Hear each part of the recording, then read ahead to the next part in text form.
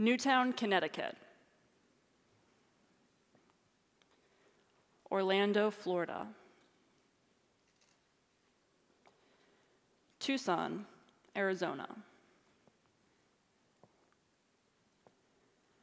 Aurora, Colorado. San Bernardino, California. Charleston, South Carolina. There's a reason these cities are so familiar to us, a reason many of you will recognize these names. Most people know these cities not for their landmarks or for their population sizes, but for the tragic events that have taken place here. The shootings in movie theaters, schools, nightclubs. These have all happened within the last few years, and these events stand out in our minds for the tragedy and shock that we felt as a nation. These six events ruled the news for weeks after they happened. You couldn't turn on the TV or radio without hearing new developments in the story. Yes, we know these six cities. But what about the rest? These are all the mass shootings that have taken place in our nation between 2009 and 2015. 133 events of the same nature as those six that we are so familiar with. So, why do we not know about these?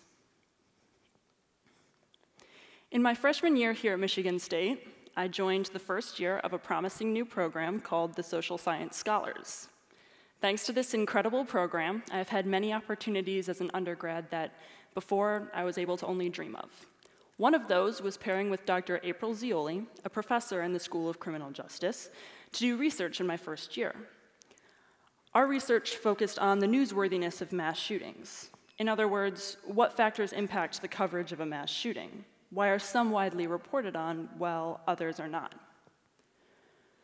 First of all, it's important to understand how we conducted this research. We defined mass shooting as the FBI defines it a single event carried out by a person or group of people armed with firearms, which results in the death of four more victims. This is important because you may see articles on the web every now and then that proclaim 400 mass shootings in 2016. And they're not wrong per se, but you do have to look at how those articles define a mass shooting. Often, they will say an event constitutes a mass shooting if four or more victims are injured, not killed. While not technically incorrect, this distinction does tend to widen the net considerably.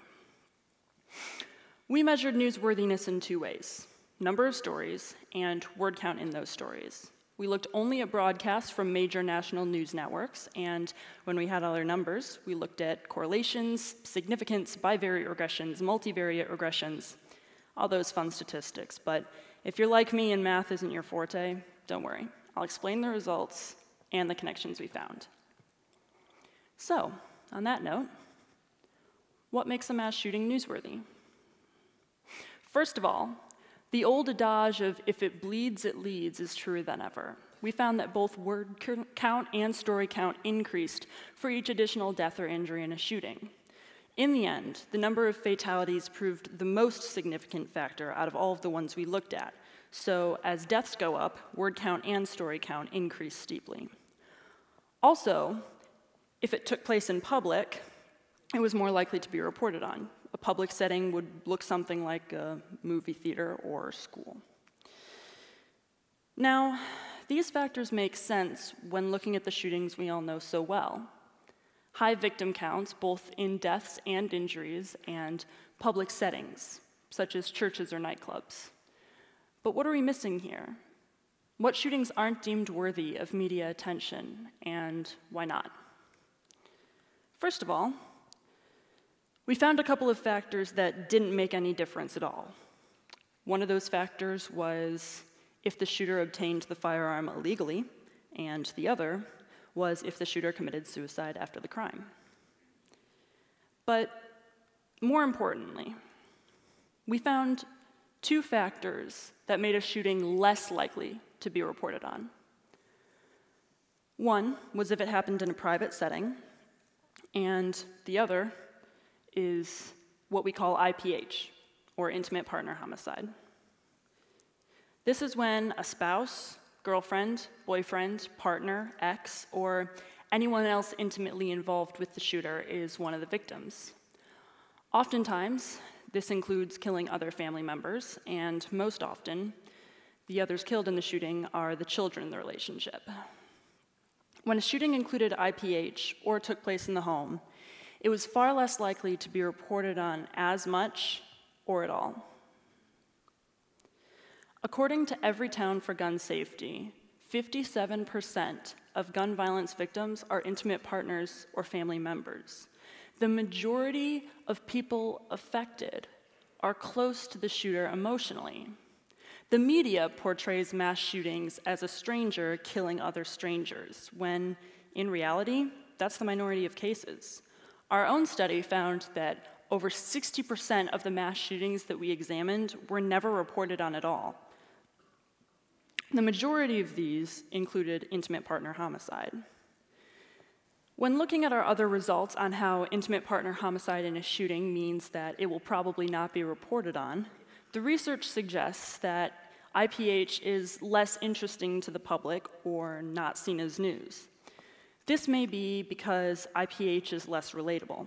No one wants to believe their partner is capable of such a thing, so people would rather read about the random deaths of innocents. Some may even say that the intimate partners of the shooters were complicit in their fate, that they should have taken more countermeasures, or shouldn't have been involved with the shooter in the first place.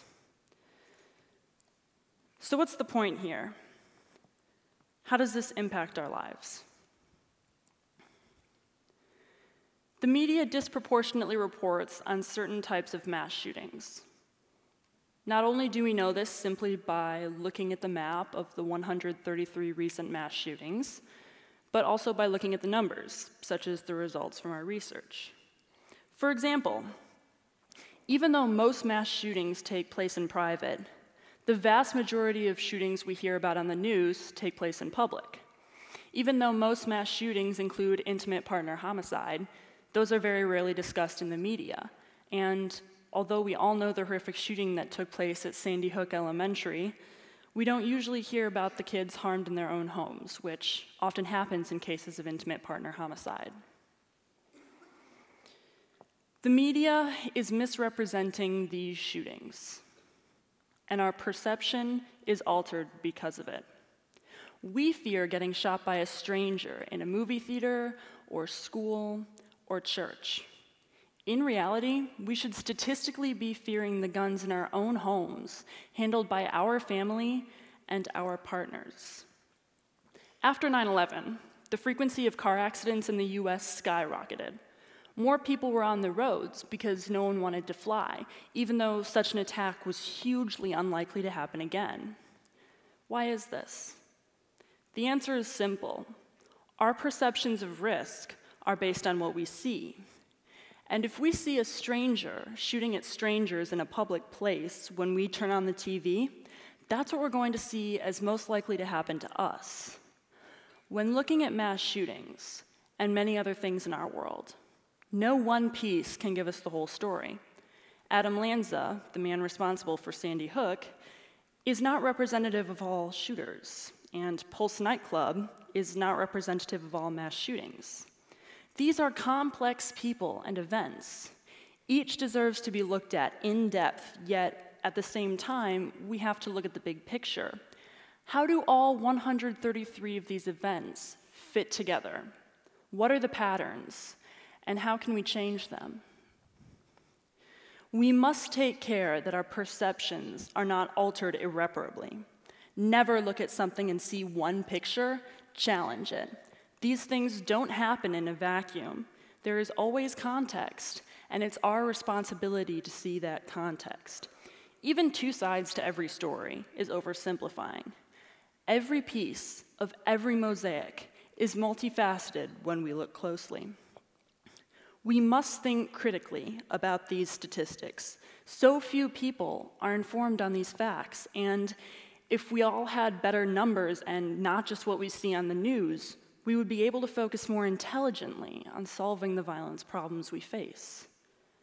We talk about stopping another Newtown, another Orlando, another Aurora. But what about another Indianapolis, or another Tyrone, another Wichita, Douglasville, Morgantown, Springfield, one of the 133 others? We must stop focusing on only a few of the pieces and see the big picture. Failure to think critically about any given topic will result in standing still. In this case, especially, that is one thing that we cannot be satisfied with. If we expect to make our nation safer, we must apply these findings to our policies. We can have all the knowledge and research in the world, but nothing will improve if we cannot use them to make a difference. As German writer Johann Wolfgang von Goethe once said, knowing is not enough, we must apply. Willing is not enough, we must do. People from every viewpoint will find it easier to come together if we have all of the proper and up to date information.